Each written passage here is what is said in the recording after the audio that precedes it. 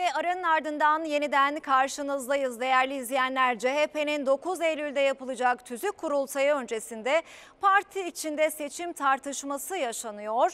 Tüzük kurultayının genel başkan seçimli kurultaya dönüp dönüşmeyeceği merak edilirken kulislerde CHP eski genel başkanı Kemal Kılıçdaroğlu ve mevcut genel başkan Özgür Özel'in farklı stratejilerle kurultaya hazırlandıkları konuşuluyor. Ben boşuna e, demiyorum ki hançerlendik diye. Boşuna mı diyorum ben bunu? Hiç üstüme almadım. Hiçbirimizin üstüne almadım. Cumhuriyet Halk Partisi'nde hançer yok, hançerleyecek de kimse yok. CHP'de gözler tüzük kurultayına çevrildi. Kulislerde Genel Başkan Özgür Özel'le eski Genel Başkan Kemal Kılıçdaroğlu'nun satranç hamlelerini aratmayan strateji izlediği konuşuluyor. CHP partinin anayasası olarak nitelendirilen tüzükte değişiklikler yapacak. Ancak genel merkez ve parti içi muhalefet tüzük maddelerinden çok parti içinde bir genel başkanlık yarışı olur mu sorusuna kilitlendi. Kılıçdaroğlu ve ekibi seçimli kurultay için delege bazında nabız yokladı. Ancak muhalifler umduklarını bulamadı. tüzük kurultayına ben Kemal Bey'in çok güçlü gittiği kanaatinde değilim. Kimse Kemal Bey'in 682 delegesi vardı son kurultayda diye değerlendirme yapmasın.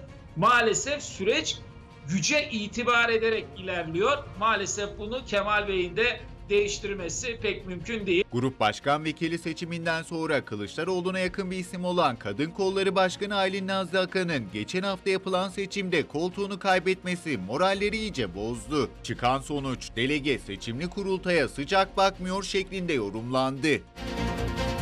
Tüzük kurultayı sürecinde gözlerin çevrildiği bir diğer kişi de İstanbul Büyükşehir Belediye Başkanı Ekrem İmamoğlu oldu. Tüzük kurultayını fırsat olarak gören İmamoğlu, delegelerden %50 artı bir oranında imza toplayarak süreci parti meclisi seçimlerine dönüştürmeyi hedefliyor. Böylece çoğunluğu ele geçirip adaylığını garantiye almayı planlıyor.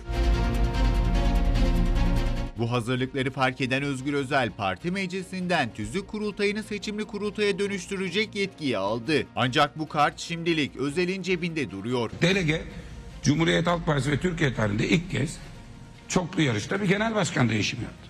Bu sorular geride kaldı artık. Bitti onlar. Özel'in muhaliflerin belli bir güce ulaşması durumunda tüzük kurultayında hodri meydan diyerek seçimde yakaladığı rüzgarı genel başkanlık yarışına yönlendirebileceği de kulislerde konuşuluyor. Ve böylece Beyaz Ana Haber'in sonuna geldik efendim. Yeniden görüşebilmek dileğiyle iyi akşamlar, iyi haftalar.